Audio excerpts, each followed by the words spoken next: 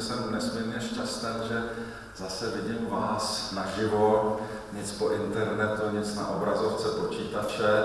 Toho jsme si užili v uplynulém roce a půl dost, takže strašně moc vítejte a mám velikou radost, že jste všichni dorazili. Možná si říkáte, proč expozice středověkých stavebních strojů. Je to proto, že vlastně Národní technické muzeum od roku 1986 vlastní repliku úžasného gotického jeřábu, protože je to absolutní unikát, tak jsme si řekli, že ho nenecháme jenom složený, ale že ho vyinstalujeme pod střechou, tak aby na něj nepršelo a aby jsme mohli to, co dokázali ty naši dědové eh, v době Václava IV.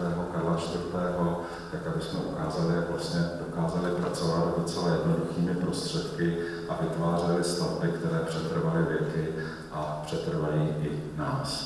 Staví se tady něco, něco nového, něco zajímavého, protože myslím si, že to, jak naši předkové v, té, v tom období té gotiky eh, dokázali eh, postavit ty úžasné, eh, úžasné paláce, hrady, zámky, katedrály, že to je něco, co všichni, všichni obdivujeme. Navíc, když máme možnost potom vidět tu techniku, jakou, jakou k tomu využívali posledních několika letech se tady v Plasích podařilo uskutečnit, rekonstruovat, vystavět velké množství eh, akcí, prostě obnova eh, pivovaru, hospodářských stavení, prostranství. A to byly akce, které byly ve spolupráci města a Národního technického muzea.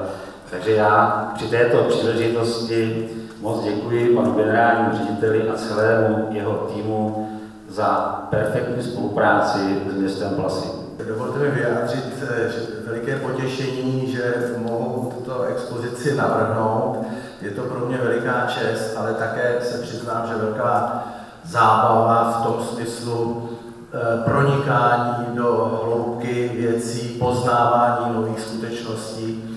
A věřte, že od doby, kdy jsem pro Národní technické muzeum před několika lety dělal expozici o stavitelství Karla IV.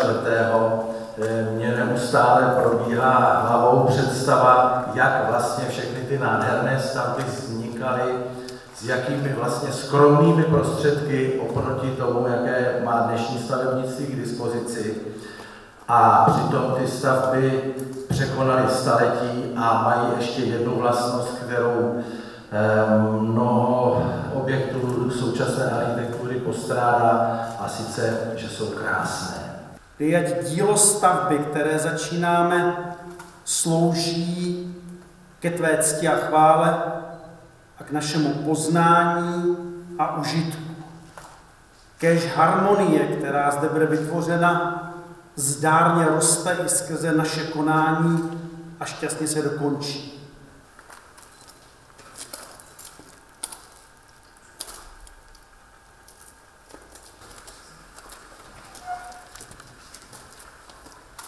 Takže ať se dílo zdaří.